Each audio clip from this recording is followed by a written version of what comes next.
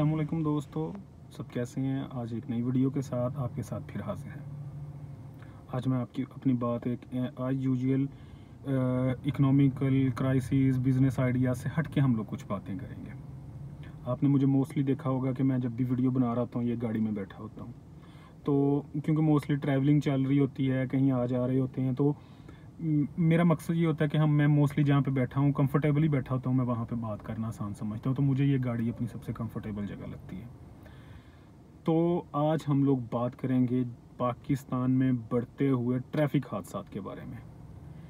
पाकिस्तान की ट्रैफ़िक के बारे में। इस टाइम पे पाकिस्तान में, पूरी दुनिया में पाकिस्तान उन चंद ममालिक में शामिल है, जहाँ की ट्रैफ़िक सेंस सबसे बुरी है। कुछ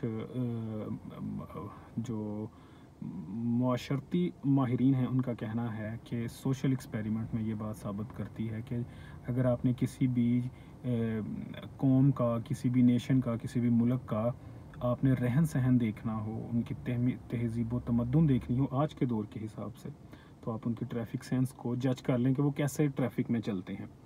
उनके ट्रैफ़िक रूल्स पे लोगों का अमल दरामद कैसा है? और आप, में, हम सब लोग इस बारे में बहुत अच्छे तरीके से जानते हैं। पाकिस्तान में ट्रैफ़िक सेंस इस टाइम शायद ज़ीरो तो मुझे बिल्कुल भी नहीं कहना चाहिए। माइनस में हम लोग बात करें तो भी बात हो सकती है। किसी बंदे को अपनी ज़िम्मेदारी का नहीं पता।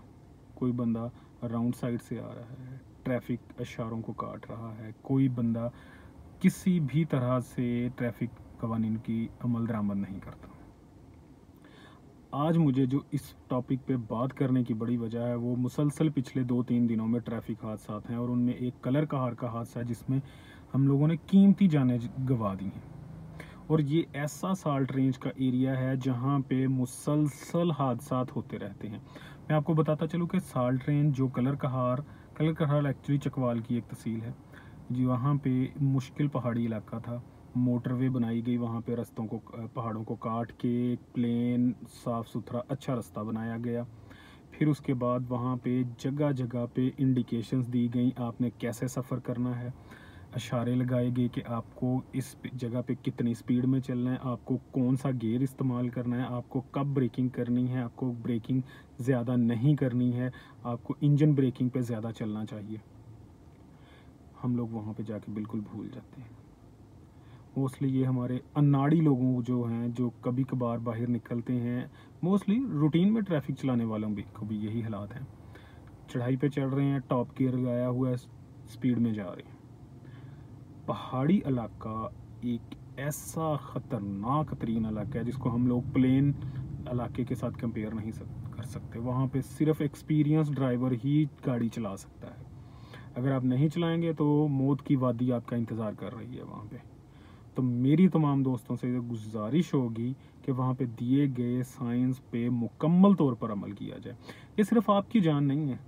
ये जान अल्लाह ताला ने सिर्फ़ आपको आपको नहीं दी हुई। ये आपके लिए नहीं है। ये आपके साथ जुड़े हुए लोगों के साथ भी है। आपकी फैमिली आपकी माँ, बहन, बेटी, बाप, भाई, आपके बच्चे, ये सारे लोग आपका इंतज़ार कर रहे हैं। आपको किस चीज़ की जल्दी है? आपको अपनी जान के साथ साथ उनका भी सोचना है। फ़न के तरीके हैं। आप गाड़ी तेज़ चलाना चाहते हैं, आप किसी ट्रैक पे जाएँ, मखसूस ट्रैक पे जाएँ, वहाँ गाड़ी तेज़ चलाएँ। वहाँ पे भी लिमिट्स आपकी सारी कुछ बताए, प्रॉपर गियर्स पहन के जाएँ। सीट बेल्ट लाजमी पहने। गाड़ी के टायर्स का प्रेशर अच्छे से चेक करें। गाड़ी को मुसलसल चलाने से गुरहेज़ करें। गर्मियों में ख़ास तौर पे आजकल जो गर्मियों का मौसम है तो इसमें इन चीज़ों से परहेज़ करें। आप गाड़ी को 100 किलोमीटर 150 किलोमीटर 110 किलोमीटर 80 किलोमीटर के बाद रेस्ट दें ताकि उसके टायर ठंडे हो सकें। तो मेरी आप तमाम लोगों से गुजारिश है प्रॉपर तरीक़ों से गाड़ी को चलाएँ। और फिर इसके साथ साथ जो मेन मसला इस टाइम पे हमारा चल रहा है, वो है पीएसवी गाड़ियाँ, जो हमारी बड़ी बसेस हैं उनके। कलर कहार में अभी भी उसी का वाक़ हुआ है छः बंदे अपनी जान से गए हैं, पंद्रह ज़ख्मी हो गए हैं। वो कैसे हम लोग जस्टिफाई करेंगे इन लोगों को? उससे पहले एक दिन लाहौर में इसी तरह बस का हादसा हुआ, उसमें तीन लोग मर गए हैं।